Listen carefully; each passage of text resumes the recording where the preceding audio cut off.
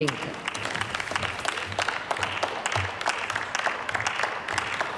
Frau Präsidentin, meine sehr verehrten Damen und Herren! Auch ich möchte mit den positiven Aspekten dieses vorliegenden Gesetzentwurfs beginnen und ähm, auch mit den Punkten, wo sich in der Tat zeigt, dass es sich gelohnt hat, die Opposition einzubeziehen. Auch dafür will ich mich natürlich herzlich bedanken. Ähm, und zwar geht es um den äh, Punkt Verbesserung äh, des Kündigungsschutzes von Mieterinnen und Mietern in Gebieten äh, mit Erhaltungssatzung, also in Gebieten mit angespannten Wohnungsmarken. Ähm, da finde ich es sehr gut, dass ein Punkt aufgegriffen wurde, der ja der von uns benannte Sachverständige in der Anhörung vom Deutschen Mieterbund stark gemacht hat, nämlich dass wir hier den Kündigungsschutz von Mieterinnen und Mietern verbessern.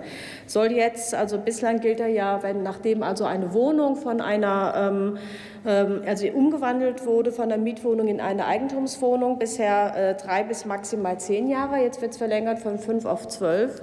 Das ist jetzt nicht ganz das, was der Bundesrat vorgeschlagen hat. Der hatte nämlich sieben bis 14 vorgeschlagen, aber immerhin ein Schritt in die richtige Richtung.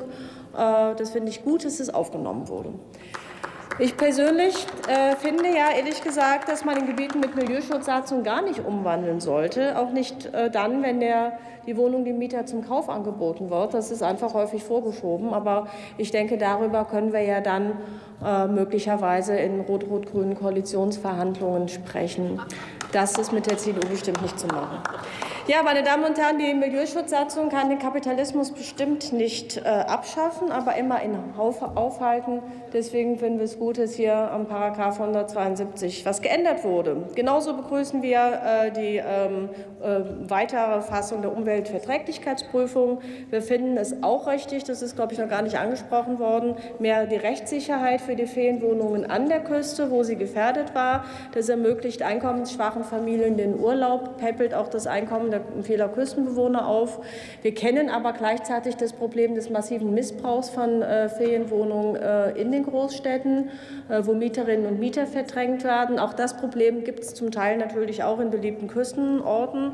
Wir kennen auch die Furcht vor sogenannten Rollladensiedlungen, also so leeren Ortschaften, wo da nichts mehr passiert. Deswegen finden wir es gut, dass die Kommunen da eine Handhabe haben oder gestärkt werden, das zu regulieren. Äh, muss aber an der Stelle auch sagen, dass ich wirklich allen Ländern empfehle, hier eine Zweckentfremdungsverbotsverordnung zu erlassen, um eben den Missbrauch von Ferienwohnungen zu verhindern. Ja, meine Damen und Herren, auch wir Linke wollen natürlich lebendige, durchmischte Städte. Äh, wir finden deswegen die Einführung eines urbanen Gebietes richtig. Ich habe es ja bei der ersten Lesung schon gesagt, diese heute so beliebten Gründerzartviertel konnten heute gar nicht mehr genehmigt werden. Aber genau das wollen wir ja häufig. Äh, kurze Wege, äh, die Mischung aus Wohnen, Arbeiten und Unterhaltung. Und deswegen ist es gut, dass es das urbane Gebiet gibt. Wir sind uns beim Lärmschutz nicht wirklich einig geworden. Das hat schon mehrfach eine Rolle gespielt. Ähm, ich finde schon, das habe ich hier auch gesagt, äh, wir können darüber reden, weil wer in die Stadt zieht, wer in Gebiete zieht, wo man einfach näher ranrückt an bestehende Unterhaltungsangebote, der kann natürlich nicht erwarten, dass es da so leise ist wie auf dem Dorf.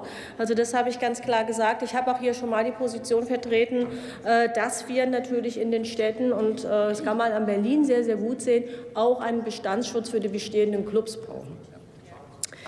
Ich finde es auch ehrlich gesagt amüsant, wenn Leute, die dann als Studenten dahin gezogen sind, genau weil es da so schön äh, munter und lebendig war, dann finden sie aber zehn Jahre später, es ist zu laut und versuchen dann gegen die bestehenden äh, Clubs zu klagen. So geht es natürlich nicht.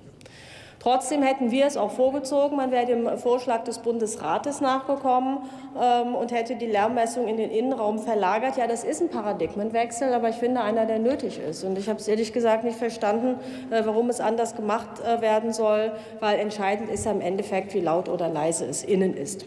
Ich würde vorschlagen, dass wir hier bei den Haushaltsverhandlungen über einen Lärmschutzfonds reden, dass wir eben äh, lärmschützende Maßnahmen für die Mieterinnen und Mieter äh, unterstützen, zum Beispiel den Einbau von Hamburgern Fenstern, aber eben das Gewerbe und die Clubs, dass die auch abgedichtet werden können, ohne dass sie um ihre Existenz fürchten müssen. Meine Damen und Herren, mein letztes Argument, und deswegen können wir auch diesem Gesetzentwurf nicht zustimmen, ist auch bei uns der 13b. Ich halte das wirklich für falsch. Das karikiert wirklich komplett den Sinn des Gesetzes, nämlich die Innenentwicklung Städteentwicklung zu stärken. Sie befordern stattdessen die Flächenzersiedlung auf Dörfern mit Eigenheimsiedlungen oder, und das ist meine Befürchtung, weil man die Armen in der Innenstadt nicht haben will, baut man dann halt irgendwie äh, so nach dem Motto Gropiusstadt an die Außenbereiche Frau Kollegin, der Sie müssen zum Schluss. Sie haben Ihre Großstädte äh, dann die Sozialwohnungen hin. Das finde ich einfach falsch. Und deswegen werden wir auch äh, die Streichung des Paragraphen 13b äh, beantragen. Wenn das nicht angenommen werden sollte, müssen wir uns dann im Ergebnis enthalten. Vielen Dank. Ich schließe